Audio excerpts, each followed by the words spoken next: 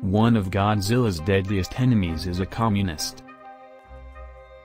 During the last half-century or so, Godzilla has squared off against innumerable giant monsters who threatened both himself and in many cases, the entire world. Of this pantheon of kaiju kikassery, one of the most well-known is Rodan the Fire Monster, a giant beast who is canonically communist. Okay, so we're stretching the definition of the canon here so allow us to explain. The Godzilla series isn't exactly one known for its subtlety with even the modern, American Godzilla movies featuring imagery more on the nose than a Tyson right hook. Now the entire series is very famously a pretty blunt allegory for the danger posed by nuclear weaponry with the Big G himself being described as the embodiment of nature's vengeance for man's hubris in creating weapons of such awesome power.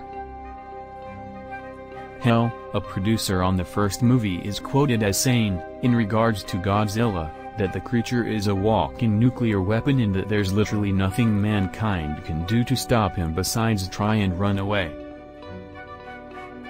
Anyway, many other creatures in the Godzilla mythos are similarly inspired by the looming nuclear threat posed by other nations, such as the Soviet Union, which served as the direct inspiration for one of Godzilla's most enduring enemies.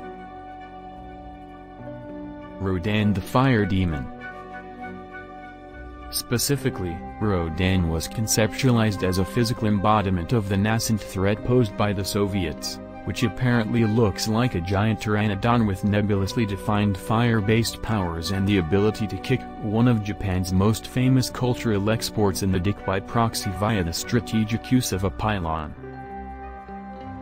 Curiously, despite the creators behind the earliest Godzilla movies openly acknowledging that much of it was inspired by real-world happenings such as World War II and the Cold War, a notable exception to this is Godzilla's other most famous enemy King Ghidorah.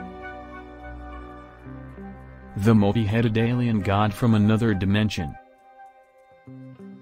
To explain, it has long been theorized that Ghidorah was similarly conceived as a metaphor for the nuclear threat posed by China. With evidence to support this is China's close association with dragons in media and the fact everything else in the Godzilla canon is inspired by something similar and that Ghidorah is obviously a communist too.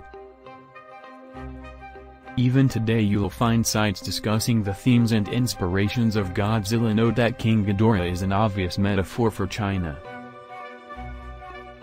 Which isn't true, at all.